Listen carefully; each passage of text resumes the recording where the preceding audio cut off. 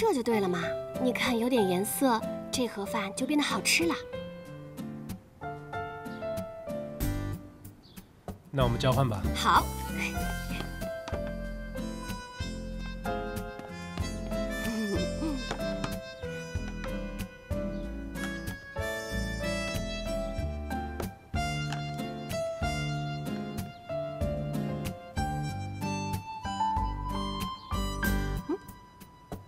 好吃吗？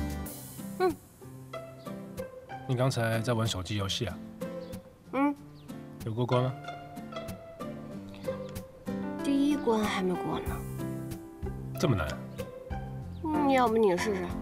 哦，我不用了，我等一下还有好多资料读呢。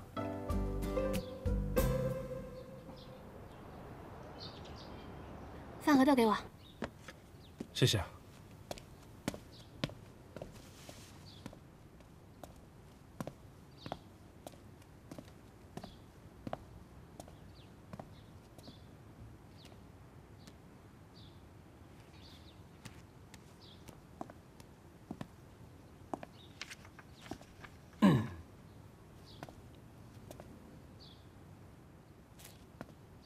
苏东林，啊，找何老师吗？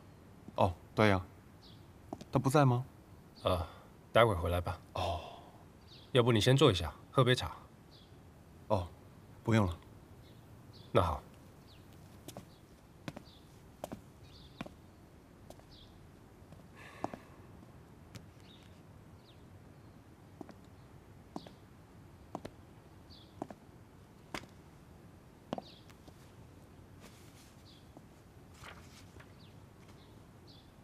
季老师，那天在餐厅，是彩虹让你陪她跟我演戏的吧？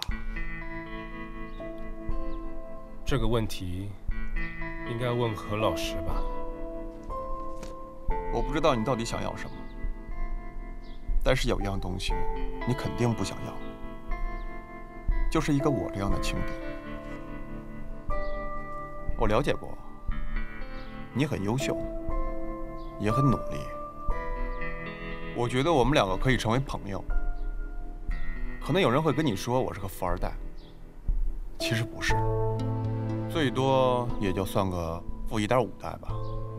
我在上大学的时候就创办了自己的公司，没有用我爸一分钱。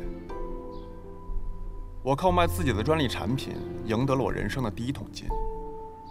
彩虹是学文科的，他对数字和金钱都没概念，他不知道这些。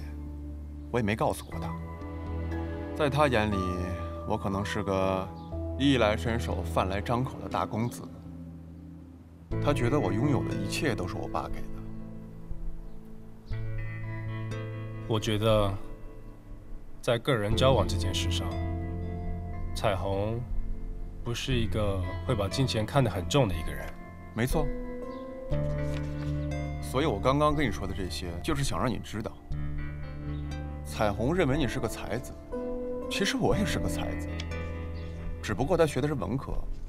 你的才华他可以理解，我是理科，我的才华他暂时不能理解罢了，仅此而已。另外，你家里的情况他知道吗？这是我跟何老师之间的事，我从来没有刻意隐瞒过他什么。我劝你还是算了。何彩虹是我的女朋友，这是迟早的事。如果谈到彼此了解的话，我们两个从初一就开始认识了。你怎么跟我比？季老师，刚刚初来乍到，还是先把情况搞清楚，再想想自己能不能插这一杠